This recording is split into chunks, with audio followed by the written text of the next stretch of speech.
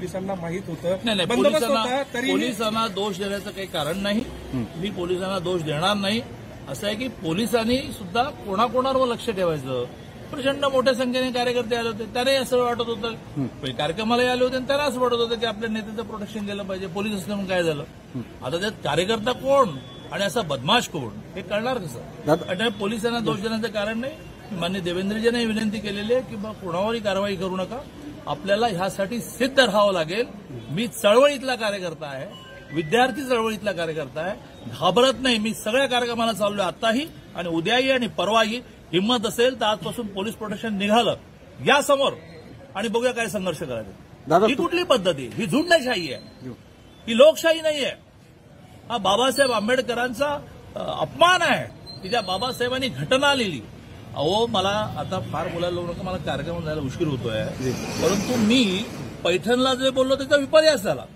आणि प्रचंड मोठ्या वंदे मातरम सभागृहाच्या उद्घाटनामध्ये मी असं म्हटलं की छत्रपती शिवाजी महाराजांवर आणि बोधिसत्व महामानव डॉक्टर बाबासाहेब आंबेडकरांवर आपण शंभर मार्काचा पन्नास मार्काचा असा असा अभ्यासक्रम केला पाहिजे. दोन पाणी धडा काय शिकवता? आणि पुढे जाऊन मी असं म्हटलं की बाबासाहेब आंबेडकर ज्यांचे आपल्यावर उपकार आहेत ज्यांनी घटना लिहिली ती घटना पुढचे एक वर्ष एक हजार वर्ष बदलावी लागणार नाही. काय झाल्यास काय करावे काय झाल्यास काय करावे काय झाल्यास काय करावे म्हणजे घटना. मग ते नाही दाखवलं तुम्ही प्रेसवाल्यांनी. माझं माझं तुमच्यावर दोष नाही. तुम्हाला प्रत्येकाला तुमचा तुमचा रोल करायचा आहे. पण जर तुम्ही इलेक्ट्रॉनिक मीडियाने पैठणला म्हटलेल्या वाक्याचा विपर्यास करू नका महाराष्ट्र पेटवला हा मी तुमच्यावर आरोप करत नाही परंतु तुम्ही जर हे तुम्ही जर याचा पराचा कवळा केला नसता तर तिथे कोण होतं? तर तुम्ही त्या वंदे मातरम सभागृहाचं उद्घाटन करताना बाबासाहेबांची प्रचंड स्तुती केली. श- श्रीमंत छत्रपती शिवाजी महाराजांबद्दल मी असं म्हटलं की शिवाजी महाराजांचे केवढे उपकार.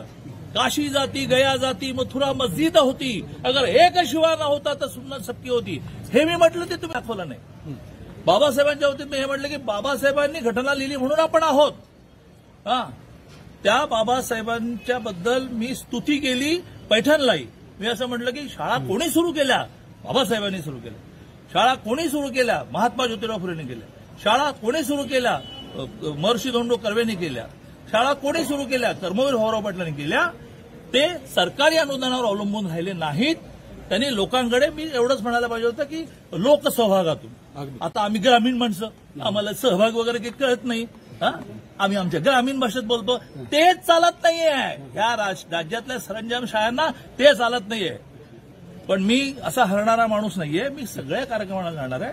माझं नेतृत्व काय तो निर्णय करेल.